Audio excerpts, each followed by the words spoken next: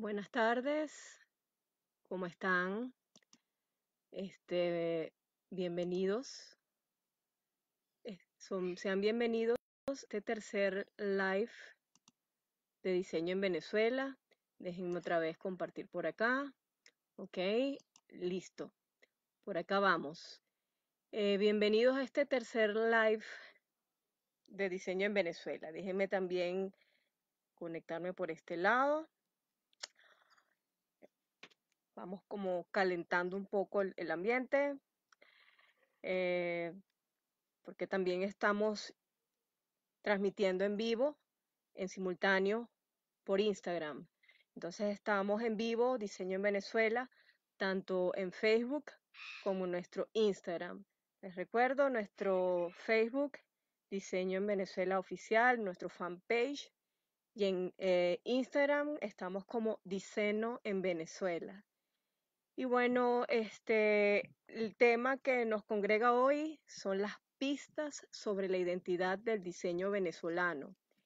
Y este es un tema que, bueno, eh, eh, he trabajado ya en diferentes oportunidades y bueno, les doy la bienvenida en nombre de Diseño en Venezuela, en nombre de nuestro equipo conformado por mi persona, Elina Pérez Urbaneja, junto con nuestra directora de arte, Susana Abreu, y nuestra productora, Jessica Stein. Pues bueno, con eh, esta presentación estamos llegando a la tercera semana de live en estos tiempos de pandemia, en que todos estamos en casa, resguardándonos del coronavirus. Y bueno, este, nosotros como un medio nativo digital estamos también contribuyendo a mantener eh, activa a muchas personas, sobre todo a, la comunidad del diseño en el mundo, en particular, en particular a los diseñadores venezolanos, eh, con estas presentaciones que nosotros ya teníamos eh, en realidad eh, preparadas, porque son charlas que ya había dictado en el pasado. Y bueno, este, empezamos a desempolvar discos duros, a rescatarlas, a revisarlas en equipo, Susana Abreu a eh, rediseñarlas para que sean mucho, mucho mejores de como las planteé originalmente, que no soy diseñadora, y de esta manera presentárselas. La semana pasada hablé sobre el diseño de muebles en Venezuela, la semana antepasada, que fue con, eh, con lo que iniciamos, hablé este, sobre el, diseño en tiempos de diáspora, el diseño venezolano en estos tiempos de emigración. Y bueno, para la próxima semana estamos preparando otra, otro live, por supuesto, con una charla sobre el recorrido por el diseño gráfico venezolano. La semana pasada hablé de diseño industrial, la próxima semana ya sobre diseño gráfico, un recorrido. Esa fue una charla que dicté en la Universidad Nacional de Colombia y para dentro de dos semanas la responsabilidad social del diseñador y la gráfica disidente. Pues bien, eh, bienvenidos todos nuevamente a nombre de diseñoenvenezuela.com. Eh, estamos en, la, en eh, simultáneo en Instagram y en Facebook. Y bueno, para comenzar, quiero colocarles un breve video que en estos días empezó a circular por WhatsApp. Mi esposo me lo, me lo envió y justamente coincide perfectamente con este tema. Déjeme ponérselo acá, es de un chico venezolano, un animador, este, y creo que va a venir muy chévere para lo que queremos eh, transmitir hoy como mensaje. Yo creo que muchos de ustedes lo deben haber visto, bueno, se los voy a colocar acá. Este, vamos otra vez.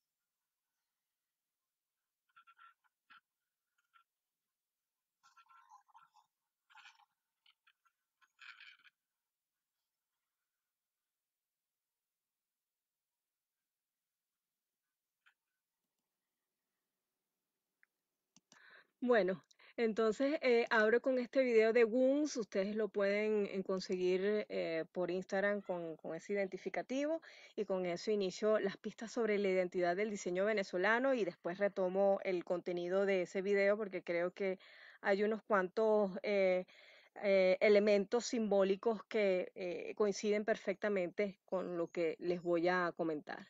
Vale, entonces, identidad. ¿Qué es la identidad? ¿A qué nos referimos cuando hablamos de identidad? Pues este es un término que deriva del latín idem, que significa lo mismo, y de esta manera alude oposicionalmente a lo diferente o a lo otro. La identidad, eh, si hablamos desde el punto de vista de las naciones, son eh, elementos que nos cohesionan por la coincidencia en valores, creencias, tradiciones, prácticas, incluso una historia en común.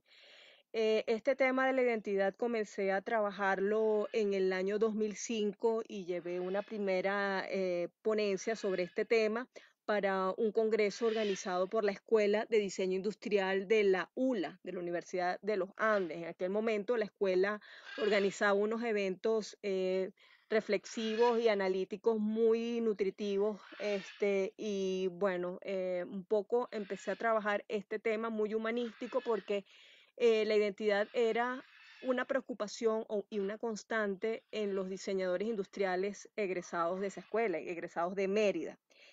Eh, para aquel momento eh, revisé como teoría eh, al sociólogo Daniel Mato, que se ha especializado justamente en escribir e investigar sobre la identidad venezolana. Y eh, Daniel Mato indica que las identidades son productos sociales de construcción simbólica. Y como estamos hablando de construcción simbólica, también nos estamos refiriendo a cultura y el diseño es justamente una disciplina que trabaja directamente con la construcción simbólica y aporta fuertemente a la cultura. Entonces, desde ese punto de vista, el tema identitario es eh, un tema que es un tópico importante de revisar para el diseño. Eh, bueno, si nos remontamos a lo que es la historia de la identidad venezolana, podemos ver que en el siglo XIX se produjo un proceso de conformación de la identidad venezolana entendida como caraqueñidad, difundida como ideología oficial del Estado. En la siguiente centuria, o sea, siglo XX, se produce el rechazo a la regionalidad o provincianismo como rémora que impedía salto al progreso. Después de la muerte del presidente Juan Vicente Gómez en el año 1936, los mandatarios que lo sucedieron, como Eleazar López Contreras e Isaías Medina Angarita, colocaron las bases de la democracia nacional sobre los hombros del discurso modernizador y centralizado en Caracas. Creo que este punto es vital para poder comprender eh, a qué se refiere la identidad para los venezolanos. Y en el video que puse al principio hay aspectos de estos que he mencionado que se tratan. Entonces, voy por acá con este personaje eh, que ven en, en la imagen, que es nada más y nada menos que el ilustre americano Antonio Guzmán Blanco. Antonio Guzmán Blanco es justamente el presidente que instala eh, en Caracas eh, totalmente el poder en el país y afianza la afianza como capital. Eh, en oposición, entonces empieza a modificar y a construir, reconstruir Caracas de una forma francesada, ya que él era realmente em, fanático de Francia. De hecho, eh, tuvo tres gobiernos, el quinquenio, el septenio y la aclamación. Y en los intersticios entre gobiernos, él pasaba larguísimas temporadas en París y cuando retornaba, después de quitar al, al presidente marioneta de turno, volvía y afrancesaba Caracas. Caracas realmente se afianzó como la principal ciudad, como capital, en contraste con, el, con la provincia, y entonces desde aquellos momentos se habla de Caracas es Caracas, el resto Monticulebra, realmente un refrán bastante desafortunado, por cierto. Y Guzmán Blanco eh, incluso empieza a aplacar las ínfulas de otras ciudades del, del país, ¿no? del interior venezolano, entre ellos Maracaibo. Y de esto realmente me enteré en el 2005 en el marco de un evento eh, organizado por Prodiseño en el CELAR, que fue un encuentro de historias y teoría del diseño, donde vinieron de Maracaibo dos profesoras, dos investigadoras de luz, las profesoras Nilda Bermúdez e Hilda Benchtetrit. Ellas han desarrollado, tienen, tuvieron años desarrollando investigación sobre el diseño y el contenido informativo de un, eh, una revista ilustrada maravina llamada El Fonógrafo. Y ellas comenzaron su charla diciendo, en Maracaibo odiamos a Antonio Guzmán Blanco. Y yo, me pareció insólito. Decía, bueno, estas mujeres a qué se refieren? Hace más de 100 años, más de un siglo que esto pasó, que Antonio Guzmán Blanco falleció. O sea, ¿qué les pasa? Entonces enseguida ellas empezaron a explicar que este, e, en el momento en que Antonio Guzmán Blanco asume el poder, Maracaibo era una ciudad exquisita, pese a todo el calor, por supuesto, donde el puerto tenía una actividad comercial realmente fuerte, una, actividad comercial brillante. Este, por allí penetraron a Venezuela eh, las eh, innovaciones tecnológicas de la época, como el fonógrafo, el teléfono, la luz eléctrica, este, el, cine y la fotografía. Por, por esas razones, es justamente que las primeras fotografías de Venezuela se hicieron en dónde? En Maracaibo.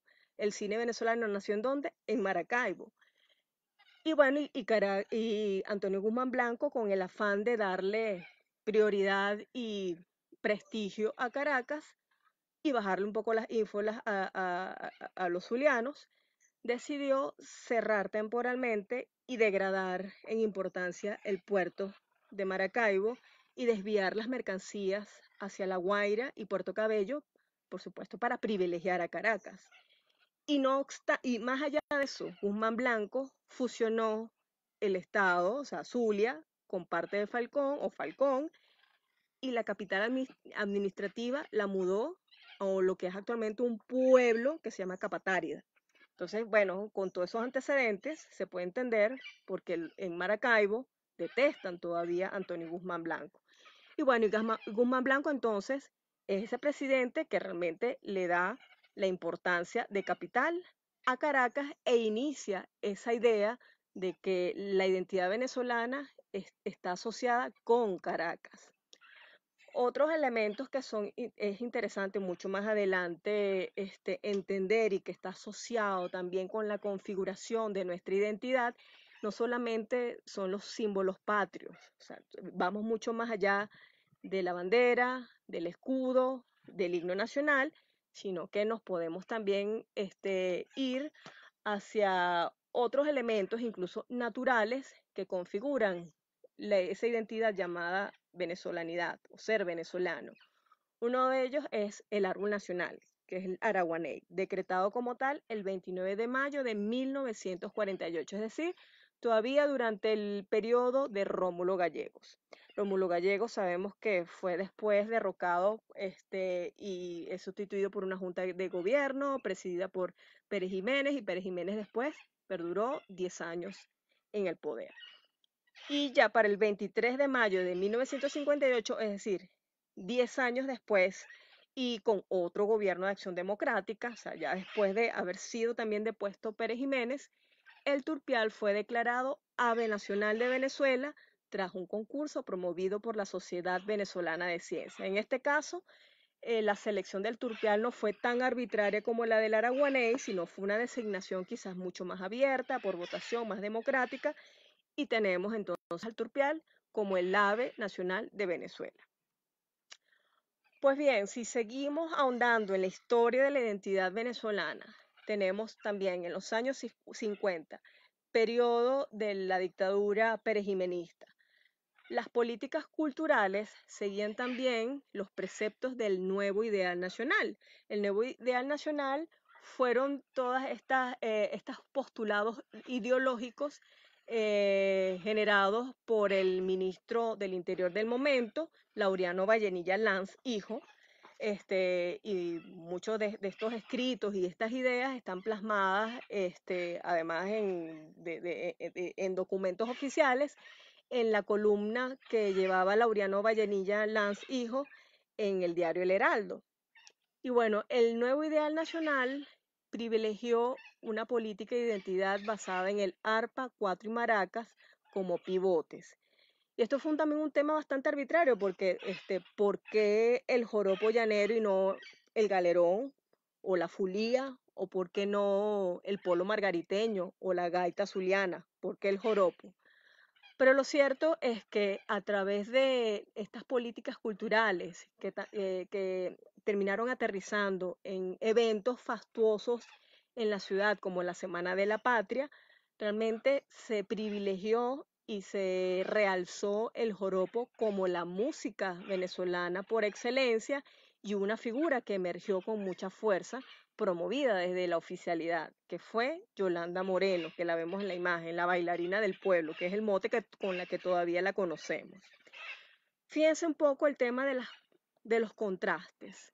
Este tema del nuevo ideal nacional, no obstante, contrastó con la visión eurocéntrica que también favoreció el nuevo ideal nacional, porque aquí eh, hablábamos de una inmigración selectiva, principalmente de europeos, para incentivar un mestizaje eh, favorecedor, porque el mismo Laureano Vallanilla Lanz, en algunos de sus, eh, escritos, hablaba de realmente lo favorable que era hibridar o, mezclar al criollo venezolano un tanto flojo y dejado, están esos términos, con este, grupos de extranjeros, principalmente europeos, que son reconocidos por su esfuerzo y por darle gran valor al trabajo.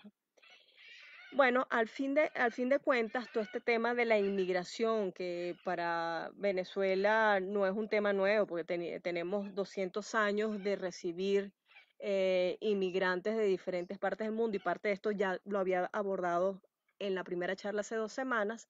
Esto creó dentro de Venezuela un perfil de diversidad cultural que todavía impacta en la actualidad, ¿no? en el presente.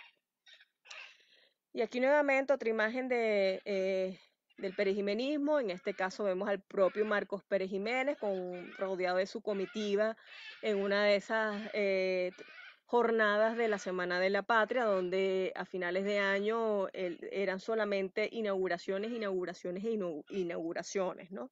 Entonces, el perejimenismo también se caracterizó, y es otro postulado del NIN, del Nuevo Ideal Nacional, por su talante positivista. El positivismo eh, señalado en el crecimiento cuantitativo y la transformación positiva del medio físico. Esto se traducía en la modernización del entorno con la construcción de autopistas, escuelas y mucha más infraestructura y todo esto se cuantificaba en cuántos kilómetros se construían, en, eh, en qué cantidad de cabillas y cemento se, se, gastaba o se utilizaba, etc. Entonces era una visión absolutamente cuantitativa, o sea, esta visión positivista permitía este, llevar eh, como una cuenta del, del, progreso en cifras, en números.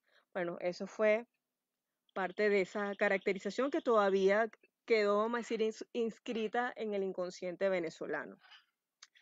Bueno, si ya nos aterrizamos al tema del diseño, tomando en cuenta un poco este, esta historia o este pasado todavía reciente, pues del, del, perejimenismo para acá, estamos hablando de sesenta y pico de años, ¿no? Eh, la identidad venezolana en el diseño se caracteriza por la diversidad cultural, lo tenemos acá, y esa diversidad cultural viene ya desde la colonia, este, desde el mismo hecho de ser conquistados, de tener dentro de nuestro ADN ya este, la mezcla de africano, indígena y español, y todo esto generó una nueva colectividad, una nueva raza, el mestizo, el sambo, este, el pardo, eh, y también tradiciones que de por sí son híbridas. Entonces, la diversidad cultural ha sido una constante dentro de la identidad venezolana. Esa diversidad cultural se manifiesta en una heterogeneidad. Entonces, la hibridación, que es un término tomado de, eh, Néstor García Ganclini, eh, se manifiesta en el ámbito cultural o Canclini, García Canclini justamente la menciona este, en el ámbito cultural como la mezcla o, o, esa interrelación y cohesión de diferentes prácticas culturales, el mestizaje como una mezcla racial, o sea, estamos más bien en el terreno biológico, y el sincretismo como la mezcla, pero en el ámbito religioso. Entonces tenemos allí religiones eh, sincréticas como la santería o como la brujería tan popular en Venezuela, donde vemos los santos malandros conviviendo con una corte eh, africana, con María Lionza, que era una princesa indígena, y con los próceres. Entonces, esos son elementos que forman parte de esa esencia venezolana. Eh, de la heterogeneidad surge lo criollo, lo criollo, el, mestizo, el venezolano de a pie que tiene eh, en su, en su sangre eh, parte de español, parte de indígena, parte de africano, pero también en la migración más reciente tenemos hijos de español con italiano llegados en los años 50, pero se sienten más venezolanos que los que tenemos generaciones y generaciones de familia acá, etcétera. Y a lo criollo tenemos también lo étnico, pero lo étnico ya no como heterogéneo, sino lo étnico como la pureza cultural.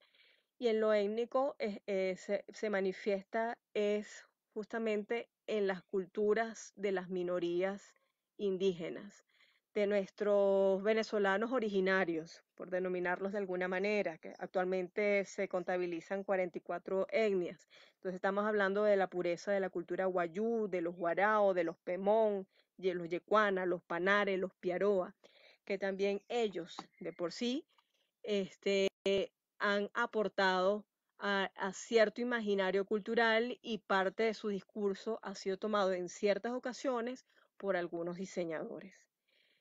Tenemos también acá una, un aspecto bien interesante y es que el diseño gráfico venezolano ha tenido un carácter internacional eh, y esto, bueno, es, un, un punto que creo que es común en Latinoamérica. Creo que básicamente el diseño latinoamericano ha bebido mucho en sus metodologías, en sus prácticas y en sus formas de, del diseño estadounidense y europeo principalmente.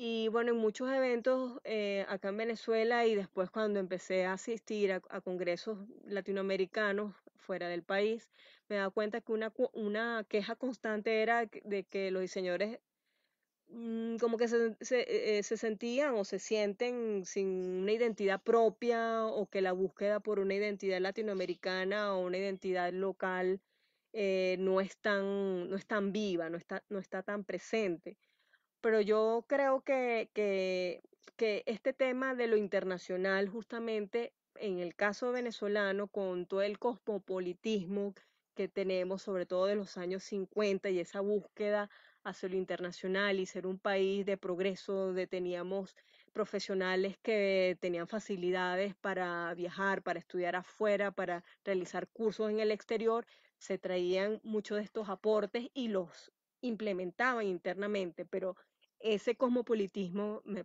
da la impresión, o, yo soy de la, de, la, de la tesis, de que forma parte de la identidad y del talante del venezolano. Y el otro, el otro punto que tengo acá, este, suelto, estos son como algunos puntos este, tomados un poco al azar, es un elemento más bien formal y es el tema del color. El, el color en, en, el diseño venezolano me parece que por latinoamericano, que por ser un país eh, donde tenemos una luz privilegiada, el color forma una parte importante de, del diseño, tanto el gráfico como el industrial, pero sobre todo en el diseño gráfico.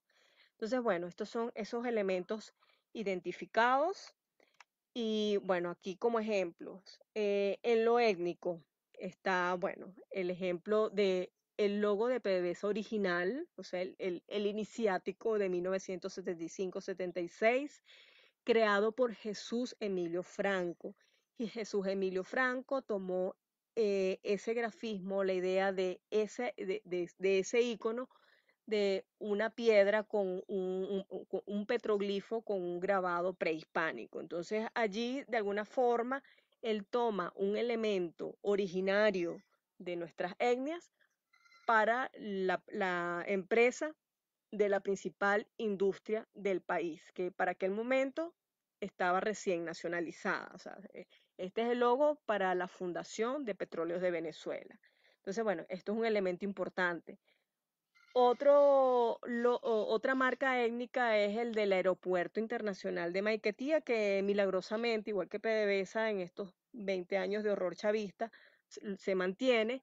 En el caso eh, de la marca del aeropuerto, eh, lo diseñó Gerloifer, que no es venezolano, era lituano, eh, pero Leufer también supo leer en su investigación, en sus descubrimientos, elementos autóctonos y los supo integrar de una manera bien coherente, muy sabia, dentro de su producción emblemática. En el caso del, del, aeropuerto, él toma un peto indígena que tiene como la forma de, de un murciélago, justamente un animal volador y está asociado y parece como si fuera un avión en cuanto a los estilos internacionales tomados por los diseñadores venezolanos, acá coloco el ejemplo de Álvaro Sotillo. Eh, de un lado vemos un cartel eh, desarrollado por Sotillo eh, cuando trabajaba en la GAN para la exposición Electromaquia de Nedo. Y aquí tenemos los cuatro tomos del, de la Enciclopedia de Historia de la Fundación Polar, diseñados, diagramados por, por Álvaro Sotillo. Este, y en ambos eh, me parece importante siempre resaltar el color, pese a la elegancia y a lo funcional, incluso hasta lo minimalista muchas veces de las formas en el trabajo de Sotillo. Eh, destaca ese color amarillo totalmente eh, intenso para el cartel y el color verde, bueno, no, sé si lo pueden ver verde, pero un verde este, también bastante encendido para, eh, los tomos de la Enciclopedia de Historia. Con el caso de Álvaro Sotillo, en una entrevista realizada 2014-2015 para mi tesis de, maestría, eh, Gabriela Fontanillas y él me, comentaban, o, Gabriela, que, básicamente es quien gestiona el estudio y, hace toda la parte de management de, diseño de, los de los proyectos, que algo interesante es que todavía hasta los años 90 ellos eh, siempre estaban pendientes de lo que se hacía en Europa, lo que se hacía en Estados Unidos, lo que se hacía en el exterior, eh, para estar actualizados con, lo, con el diseño. Pero quizás después de, del premio Gutenberg, eh, la, la tortilla se volteó y más bien este, ellos perennemente están recibiendo comunicaciones o, preguntas de bueno, diseñadores en diferentes partes del mundo que quieren saber qué es, lo qué es lo que está haciendo más bien el maestro Álvaro Sotillo. Entonces, este, yo creo que es importante saber que eh, tenemos acá diseñadores eh, de talla internacional con, con trayectorias importantes que justamente ese, ese estilo cosmopolita, internacional, con los que, pero con ese toque propio, este, llevan de alguna manera esa identidad o ese toque venezolano por el mundo. ¿Cómo se manifiesta la identidad en el diseño venezolano? Bueno, aquí tengo otros ítems que más bien he tomado de muestras mucho más recientes eh, del 2004-2005 en adelante. aquí ya nos alejamos un poco de esos diseñadores egresados del Instituto de Diseño Neumann, de los egresados del Instituto de Diseño Caracas, para hablar un poco de cómo se está manifestando esa identidad en los diseñadores más jóvenes, en los que están vigentes o están trabajando en pleno siglo XX. Pues bien, tenemos acá por ejemplo, el uso de los símbolos patrios, tanto la bandera, el tricolor nacional, como los próceres.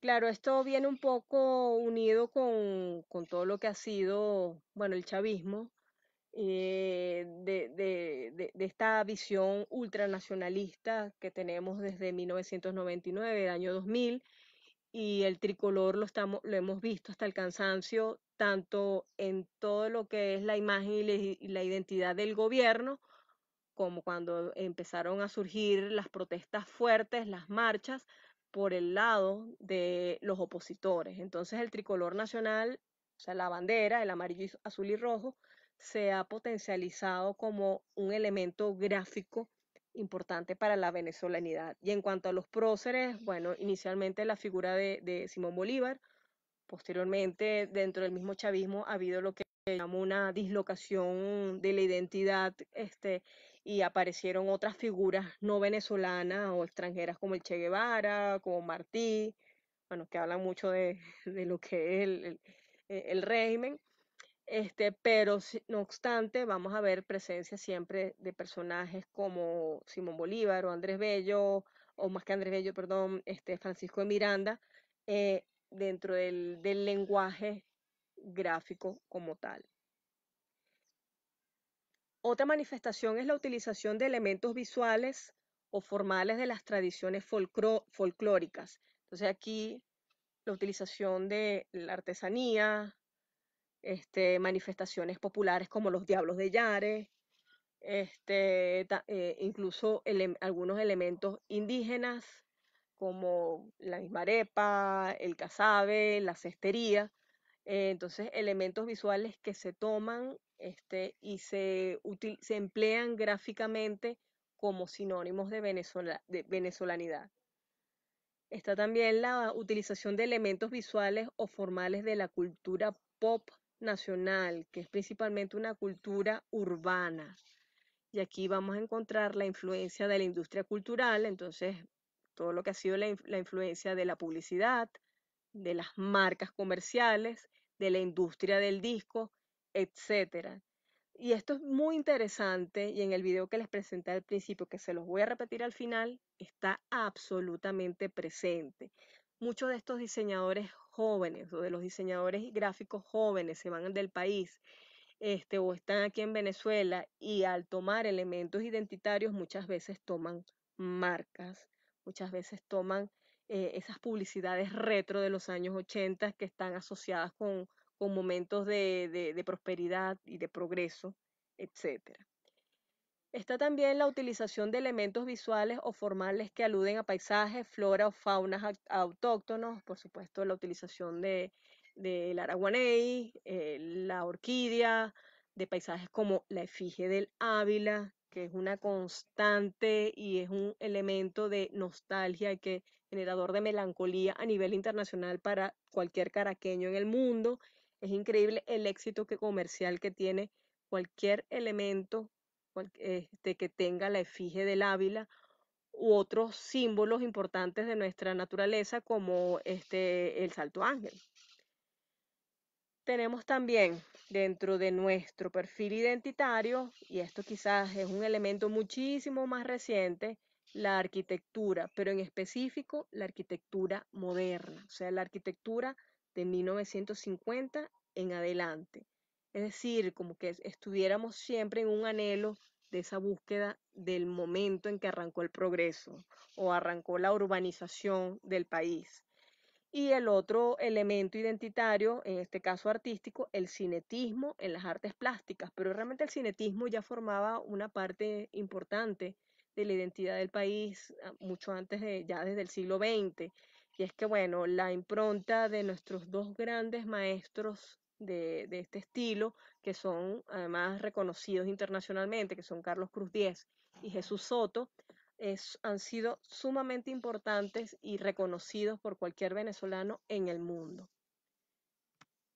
Bueno, entonces aquí vamos un poco a la aplicación de estos elementos o de estas manifestaciones a piezas de diseño. Aquí voy a mostrar tridimensional y, bidimensional y también quizás aparezca algo de, eh, de ilustración.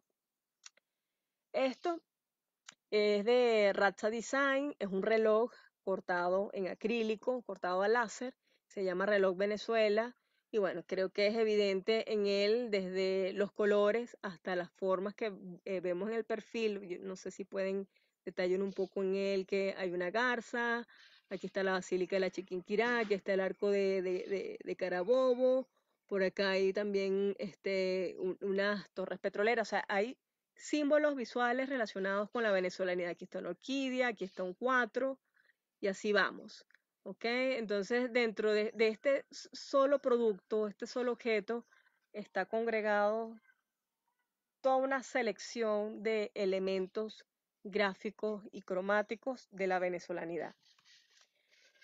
Durante el periodo de las protestas, 2014, 2017, las más impactantes y las más recientes, eh, tenemos también la utilización del tricolor como una constante, el que tenemos acá a nuestra mano este, eh, izquierda es una de las piezas gráficas que más me agradaban, que es de Rodrigo Figueredo, eh, hombre radical.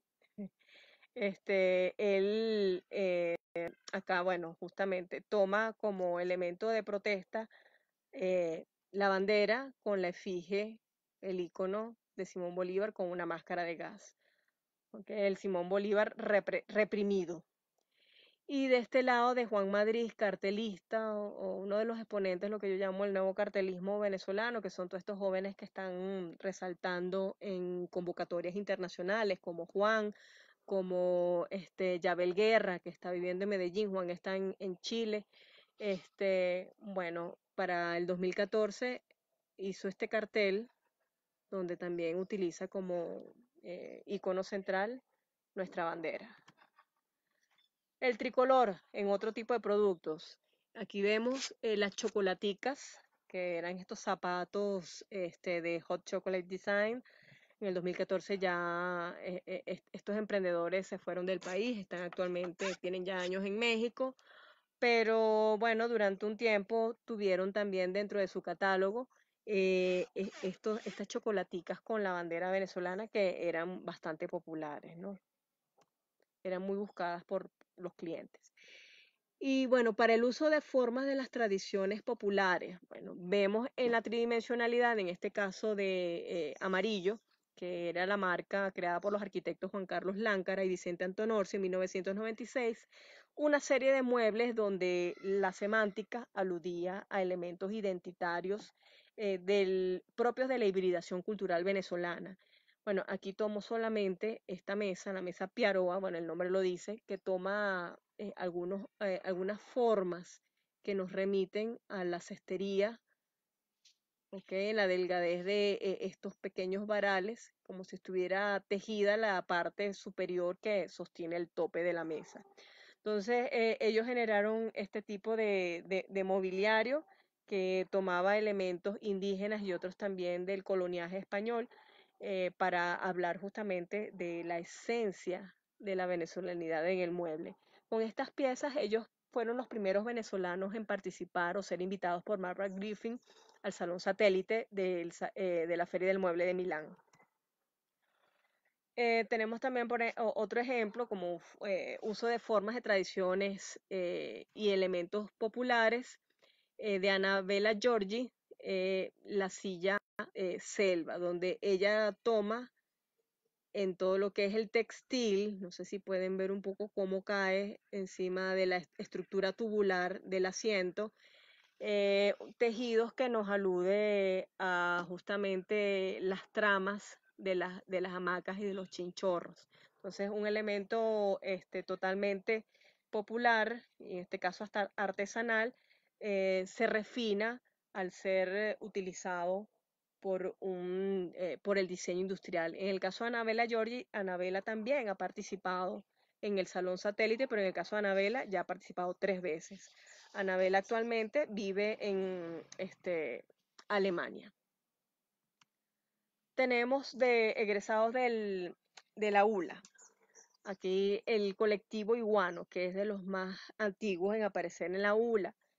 Eh, cuando estuve en el 2005 dando la primera charla sobre identidad, eh, de la ULA eh, surgieron muchos emprendimientos, básicamente con la estructura de los como colectivos creativos, que todos tenían un fuerte interés en explorar los elementos tradicionales y folclóricos venezolanos y traducirlos, llevarlos al diseño objetual.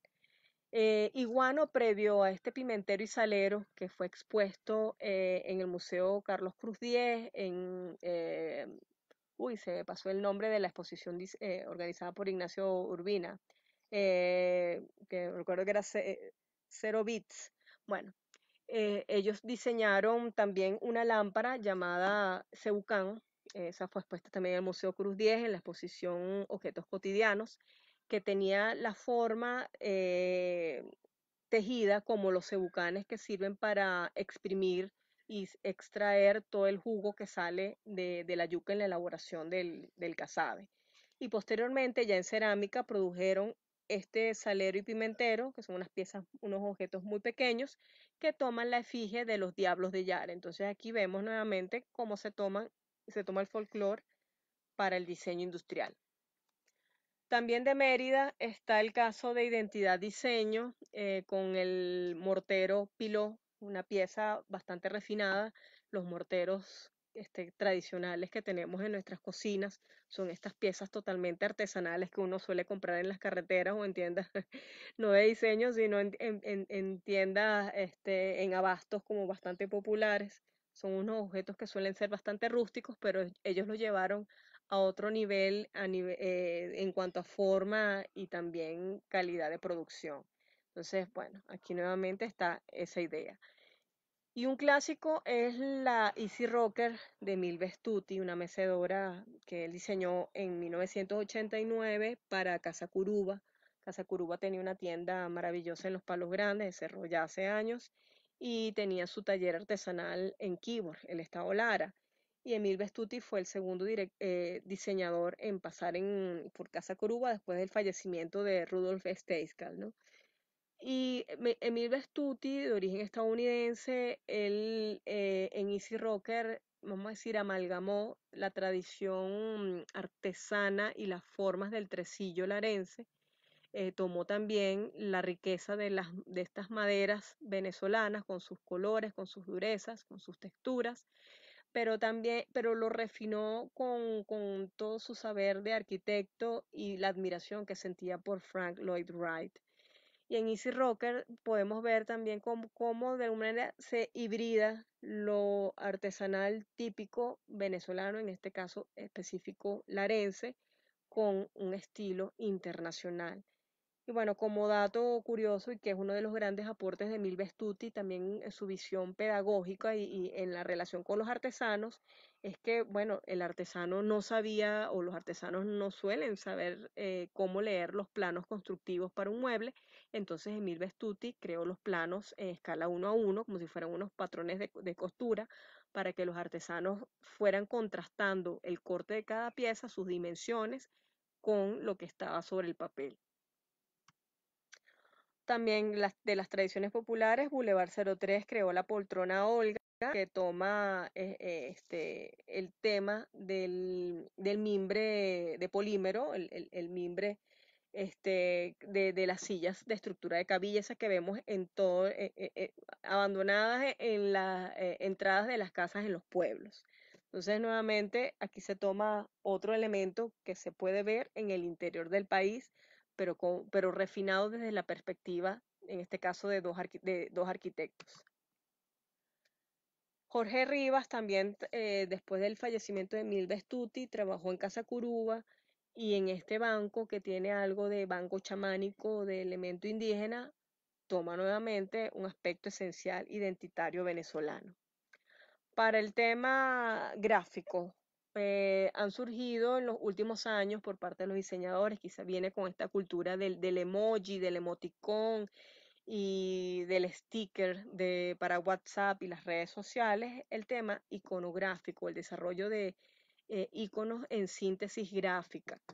Eh, casos especiales, bueno, el de Samuel Schomberg de iconos venezolanos, que tiene toda una galería de elementos de la objetualidad y eh, productos venezolanos llevados a, esa síntesis gráfica. Bueno, aquí tenemos el Bati Bati, creo que es un helado absolutamente conocido por cualquier venezolano. Asimismo, él, toma también elementos naturales y, hasta monumentos patrimoniales para eh, su colección iconográfica. Y un caso muy particular ha sido el, bueno, definitivamente el de harina pan. Entonces, uso de formas de la cultura pop nacional. Y, y me parece increíble que más que, nosotros no tenemos, vamos a decir, esa memoria tan larga como para tomar algún elemento muy antiguo y tampoco el gran conocimiento de nuestras etnias como para dirigirnos tanto hacia este, elementos indígenas como tal, como de repente sí lo pueden tener los mexicanos o los mismos peruanos pero no, eh, los venezolanos se han desperdigado por el mundo y lo que van llevando como, como su mochila y de identidad son muchas marcas comerciales. Eso me parece un fenómeno absolutamente curioso, porque el venezolano entonces extraña la arepa, pero entonces la arepa como platillo, como comida, está asociada en imagen es una marca comercial y en particular es harina pan de, de, de Polar. Y quien comenzó con, esta idea fue Gaby Valladares de la marca Papusa con la señora Arepa. Y ella me comentó recientemente que cuando comenzó este, o lanzó esa primera piedra y creó este, las primeras camisas, donde ella realmente no tomó 100% a la negrita de la harina pan, sino que la modificó. Este, Polar, los abogados de Polar se comunicaron con ella entonces, este, bueno, al final, después de, de, conversar, y ella le tocó hasta como que negociar por caminos verdes con, con, con gente que, que, la asociara mm, ya con los Mendoza, o sea, con, con la gerencia de Depolar, bueno, este, la dejaron tranquila y pudo seguir eh, produciendo a la señora Arepa. Pero resulta que Gaby, de, después que de, de, de atreverse, abrió el camino para cualquier cantidad de marcas y cualquier cantidad de diseñadores venezolanos que han tomado a la negrita como elemento para comercializar. Tenemos el caso de los eh, suéteres de Daniel Bracci, unos, unos, suéteres absolutamente colorinches. Tenemos el caso de Can Studio, que es un estudio trujillano, entonces también vemos aquí su versión o dos de las versiones de la negrita. Y acá una ilustración de, de Camila Valdés, Camixi en, en Instagram. Y si ustedes ponen harina pan en Instagram, les va, les va a salir cualquier cantidad de este, opciones y versiones de la marca de harina pan y, y con diferentes rediseños y utilizaciones pero ya a estas alturas la Polar, por supuesto, se hace la vista gorda porque no, creo que no le es posible ya perseguir a todo el mundo, pero además esto este, le supone una publicidad indirecta, evidentemente, porque, bueno, la, es una marca que está totalmente presente en el imaginario colectivo de los venezolanos en el mundo y donde se, el mercado que se introduzca, los venezolanos ya los reconocen y saben que, bueno, los esperan. Esto también es de Racha Design. Este, el primero que les mostré es venezolano, este es totalmente local y eh, se llama La Hora en Maracaibo y de hecho esta fue la primera pieza antes de la venezolana y las efigies son totalmente relacionadas con, con la ciudad de Maracaibo.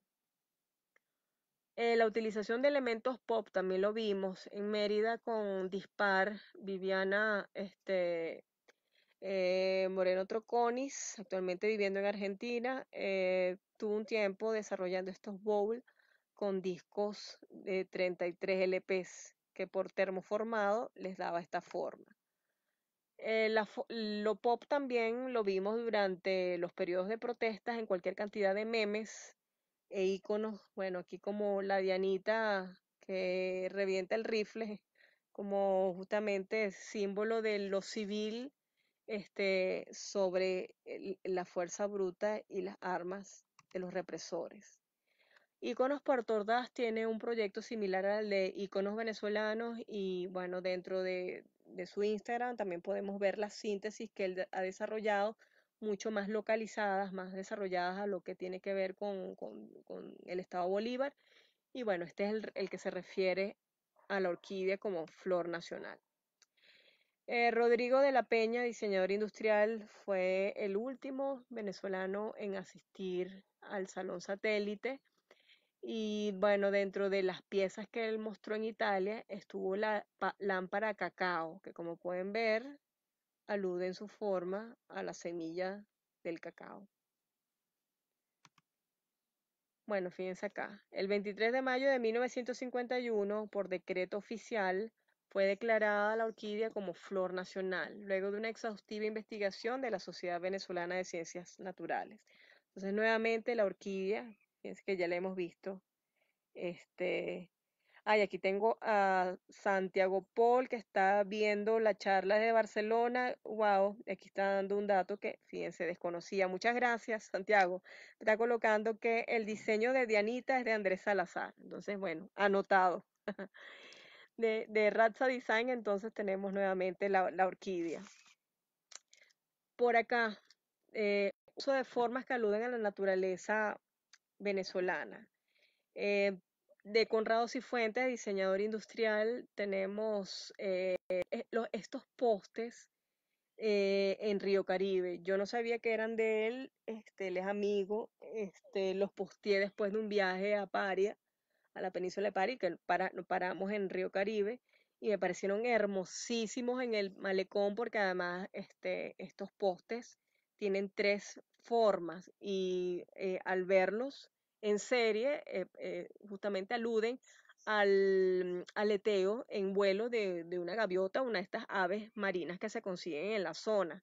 Entonces, bueno, él diseñó, este, contratado por la alcaldía de Río Caribe, estos postes específicamente para ese pueblo. Entonces, eso es lo bonito muchas veces del, diseño, o sea que no necesariamente tenía, eh, el alcalde pudo haber de repente comprado unos postes X en China o en cualquier lado, pero no, gracias a, trabajar con un diseñador venezolano, él este, decidió customizar o personalizar o adaptar totalmente el diseño, hacer algo especial para esa localidad aludiendo a elementos de la naturaleza. De Greetings from Caracas, mi querido Manuel Lara. Manuel se ha dado a la tarea en los últimos años de ser un gran defensor del patrimonio arquitectónico eh, caraqueño, en específico el patrimonio moderno. Y en estos últimos años hemos visto en la ciudad de Caracas eh, muchas iniciativas relacionadas también con el reconocimiento y redescubrimiento de la ciudad, incluso la apropiación ciudadana nuevamente de nuestros espacios públicos a través de visitas guiadas, recorridos y armar grupos para, bueno, este, visitar ciertos sectores y apreciar los diferentes elementos urbanos, siendo el protagonista la, la arquitectura. Y es que de los años 50 realmente la ciudad de Caracas tiene muchísimas joyas muchísimos edificios que realmente vale la pena admirar y atesorar. Y en este caso, Manuel con Greetings from Caracas se ha dado la, tarea de llevar muchos de esos elementos arquitectónicos a la gráfica, este, con ese estilo tan particular, bien sintético, bien este, de, de, una economía de recursos, pero efectividad increíble, y llevarlos a otros formatos para, bueno, para lo que es eh, el, recuerdo o, la remembranza de tantos venezolanos, tantos caraqueños que están fuera del país. Acá, por ejemplo, podemos ver las efigies de las dos torres del silencio. De este lado tenemos también este de Greetings from Caracas. De un lado pueden ver de la Universidad uno de los costados, uno de los, eh, una parte mural y de este otro lado, este MUG. Bueno, pero fíjense que tenemos de fondo el Hotel Humboldt. Entonces, Manuel, lo interesante es que él no solamente se enfoca en hacer los bocetos, los dibujos, llevarlos, eh, digitalizarlos, no. Manuel hace todo un trabajo de antropología cultural en torno a cada monumento, a cada edificio que él está, eh, que él registra. Él incluso utiliza eh, algunas metodologías, pero él los ha utilizado de una manera totalmente, vamos a decir, empírica o instintiva, como el de las historias de vida, donde él entrevista a los habitantes del edificio, si se trata de un edificio, a los vecinos que viven en torno, en los alrededores, etcétera. Entonces, él no solamente se limita a hacer gráficas, sino que él recopila las historias, las anécdotas, los relatos de las fuentes vivas de las personas comunes que están en contacto con la edificación. Entonces, de esa manera, él toma elementos muy de, muy de identidad, muy de apropiación local para cada una de sus, eh, de, sus gráficas, pues sus ilustraciones. Y en este caso se puede decir sin ninguna duda que se toma principalmente el periodo, la modernidad como parte de ese repertorio identitario y esto ha, ha tomado muchísima fuerza en los últimos 5 o 10 años. De la, de la modernidad tenemos también eh, otras referencias, pero en el caso del mueble, como las de Bernardo Mazzei con el trío Araya, y Bernardo toma el aluminio, que es un, bueno, una materia prima que sabemos que acá este, se, explotaba, recordamos Al, Alcázar, o todas estas empresas básicas eh, en el sur de Venezuela, pero además dentro de este, la semántica o de las formas de sus muebles está esa repetición de líneas como en el cinetismo. Entonces acá toma con un material absolutamente moderno, también parte de, esas formas que aluden a eh, ese elemento formal o ese formato muy relacionado con la venezolanidad. Bueno, con el trío Araya cierro por, eh, la presentación. Y aquí en los comentarios también déjenme ver, veo por Instagram nuevamente al maestro Santiago Paul, que aquí también nos está informando.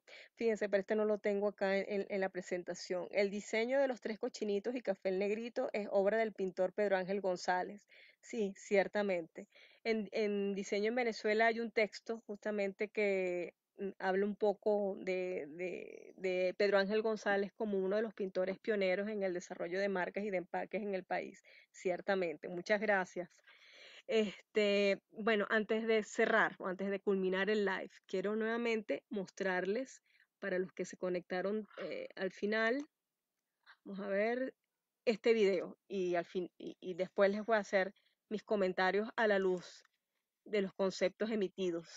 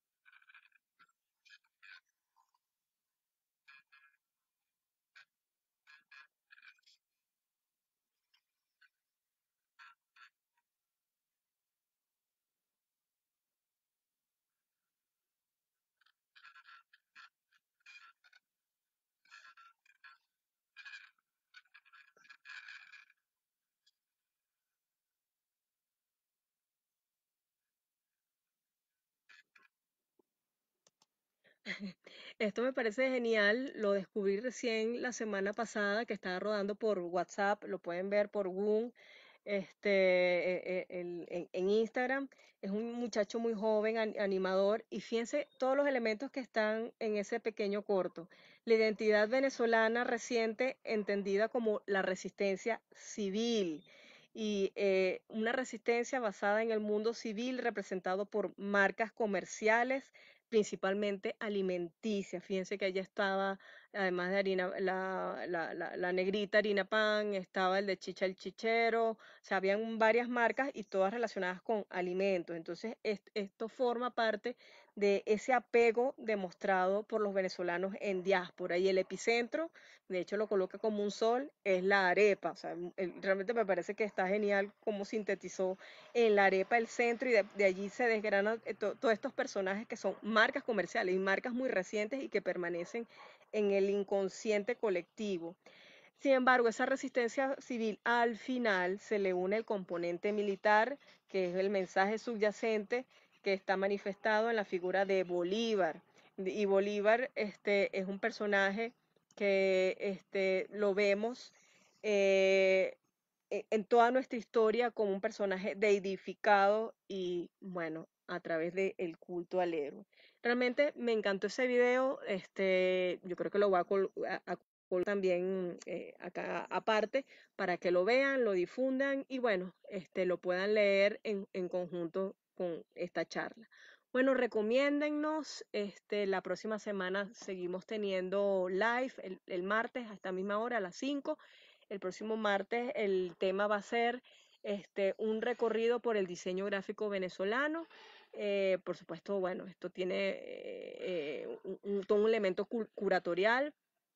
Eh, y dentro de dos semanas el tema para el siguiente live que ya estamos eh, para el 14 mm, de abril, martes 14 de abril. El, el tema va a ser sobre mm, responsabilidad social y, y, gráfica disidente. ¿ok? Bueno, muchas gracias nuevamente por eh, estar pendientes, por estar presentes. Cualquier duda, cualquier pregunta que tengan pueden hacerlas por las cajas de comentarios. Y bueno, estamos a la orden en diseño en Venezuela. Este, cuídense mucho, sigan en casa, nosotros también seguimos en casa cuidándonos, lávense mucho las manos, eviten salir si no es necesario, si no es estrictamente pertinente y bueno, seguiremos entonces en contacto. Muchas gracias.